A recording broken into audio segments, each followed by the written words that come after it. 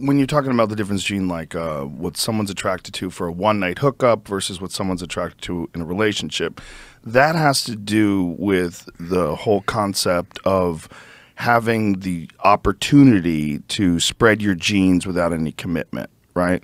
So, like someone who is what you would call hot and uh, you know promiscuous the attractiveness to that is that this is an opportunity for the male to spread their genetics without having to work too hard.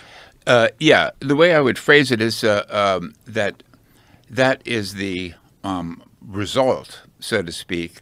Uh, men don't think about that consciously, right? You know, they're just right. They're it's, just it's, ju- it's a they, natural they, they find this cycle. woman attractive and they want to have sex with her. Right. Uh, and they're not thinking, just like when you eat food, you're not thinking, uh, although some may now, but most people don't think, oh, what is the underlying nutritive logic that led to my survival? You know, they just say, oh, this smells good, it tastes good, I'm going to eat it. Right. You know, and so we're not conscious of the underlying logic that drove the evolution of these uh, attractions in, the, in this case.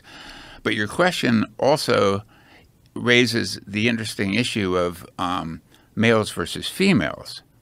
You know, so for so, so, and this gets to a fundamental sex difference in our reproductive biology, which is referred to as um, it's kind of a clunky phrase, but uh, obligatory parental investment.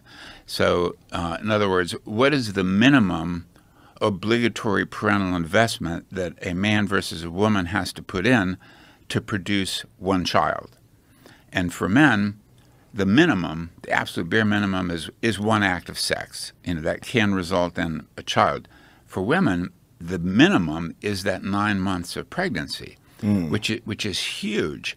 Uh, and so this has actually been called uh, the, the the Darwinian paradox or the Darwinian puzzle, is that we know that given that asymmetry in investment, we know that um, it has been beneficial in the currency of reproductive success for men to have sex with a variety of women.